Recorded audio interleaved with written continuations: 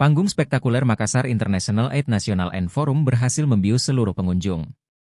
Lima hari mewarnai aktivitas di pusat keramaian kota Makassar, Pantai Losari dan CPI, kegiatan ini ditutup dengan pementasan apik dari para pelaku seni dan ekonomi kreatif. Panggung spektakuler yang memukau para pengunjung dari masa ke masa, menjadi pesta rakyat terbesar yang selalu dinantikan setiap tahunnya.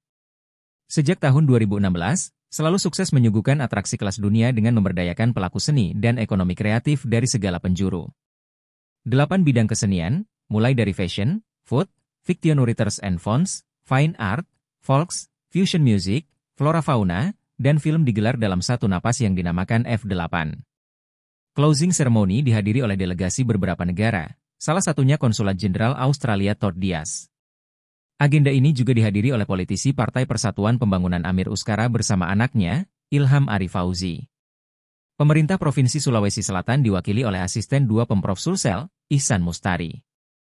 500 pelajar SD maupun SMP di kota Makassar kembali tampil memukau di penutupan F8. Mereka membawakan tari kolosal dengan tema bunga rampai Makassar. Sanggar seni asal Kabupaten Mamuju, penampilan tari dari delegasi India hingga fashion show juga membuat panggung F8 Makassar semakin meriah di malam terakhir.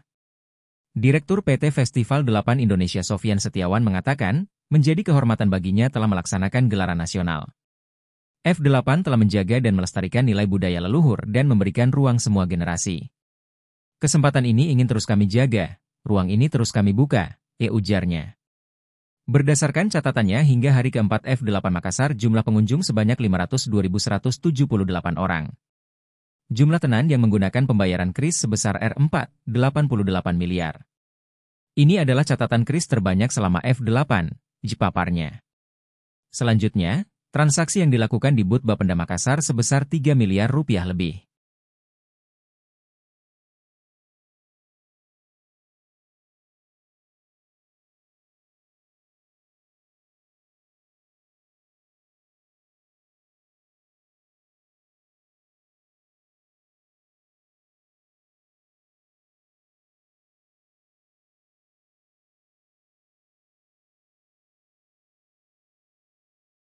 Download Tribun X sekarang.